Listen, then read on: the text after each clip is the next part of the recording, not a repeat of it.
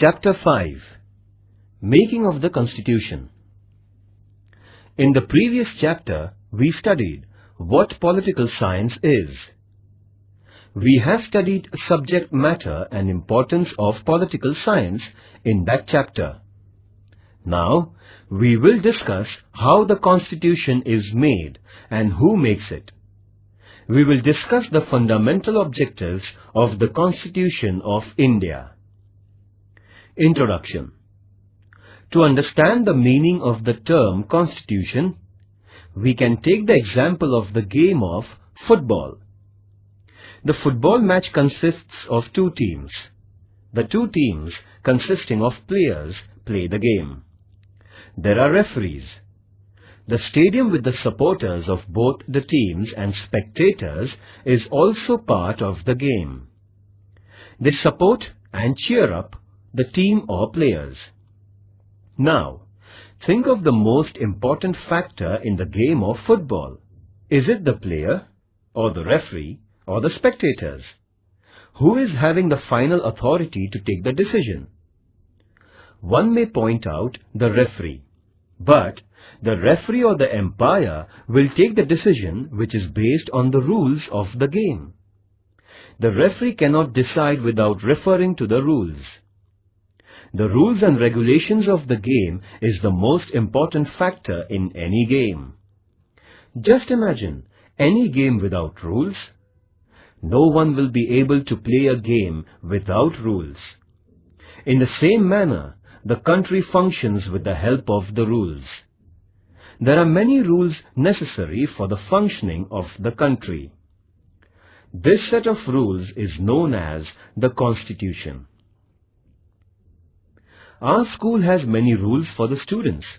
Are there any rules for the teachers and the principal? A. What is Constitution? Constitution is the fundamental law of the country. All other laws are subordinate to the Constitution. Constitution is an instrument which helps in the working of government. It is a framework within which all organs of the government work.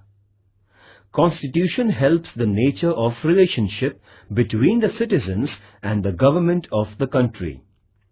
It also defines the relationship of the citizens amongst themselves. The Constitution gives powers to the government and at the same time set the limitations to use these powers. The provision for the rights of the people and the duty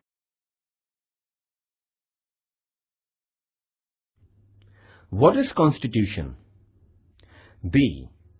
Need of the Constitution Constitution lists fundamental rights of citizens.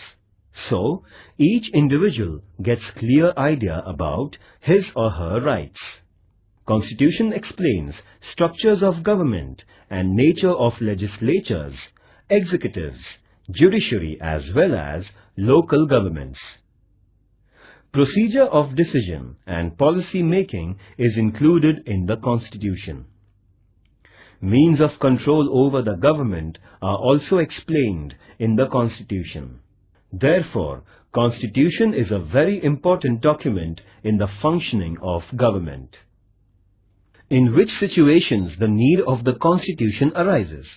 After socio-political revolution, example, Russia, China when people refuse to accept the foreign rule, that is, most of the Afro-Asian countries. When a nation is created by smaller political units coming together, USA. When a state is created by division of a country in two or more states, Bangladesh, USSR.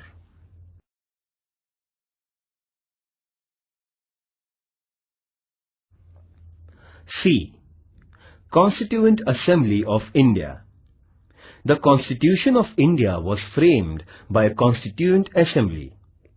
It was set up under the Cabinet Mission Plan of 1946.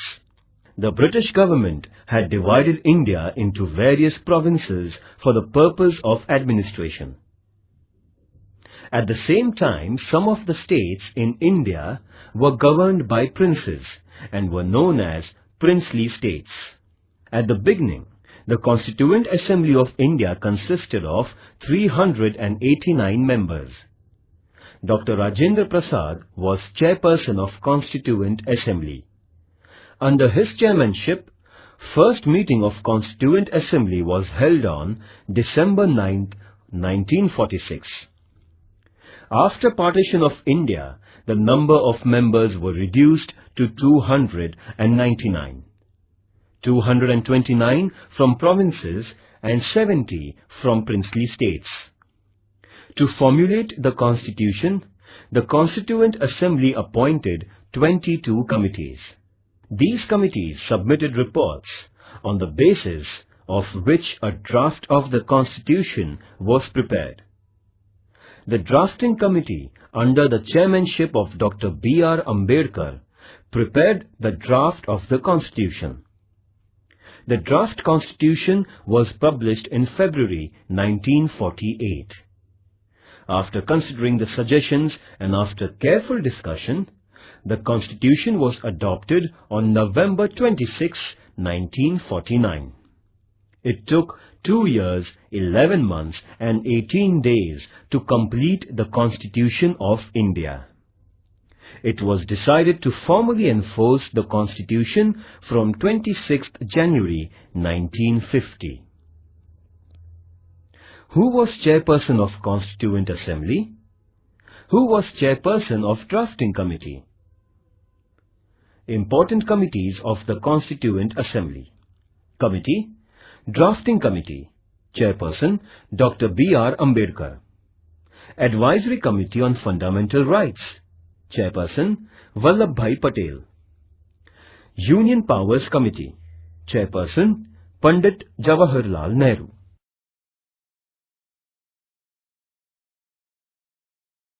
D. Preamble The preamble to the Constitution of India is an introductory statement. It tells us about the values and philosophy of the Constitution. The preamble refers to the objectives to be achieved for the overall development of India. It is considered as the key to understand our Constitution. It is based on the Objectives Resolution presented by Nehru in Constituent Assembly.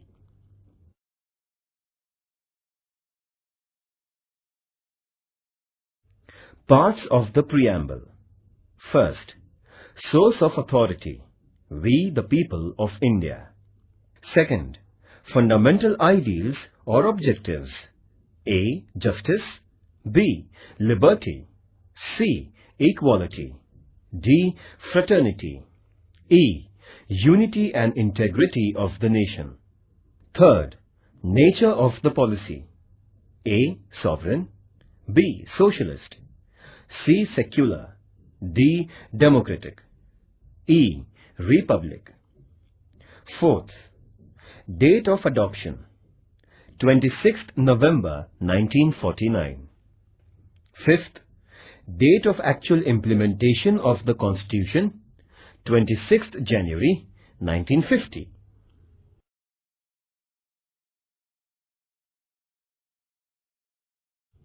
Activities Find out whether your school has a constitution of its own. Approach a political party in your locality. Get a copy of their rule book and read it. Find out more about the members of the Constituent Assembly. Find out in details different committees of the Constituent Assembly. Display collection of photographs and short notes on the members of the Constituent Assembly. How many women members did the Constituent Assembly have? Try to collect more information about them. Get a copy of Indian Constitution. Prepare Constitution of your class. Why haven't we started implementation of the Constitution on 26th of November when it was adopted?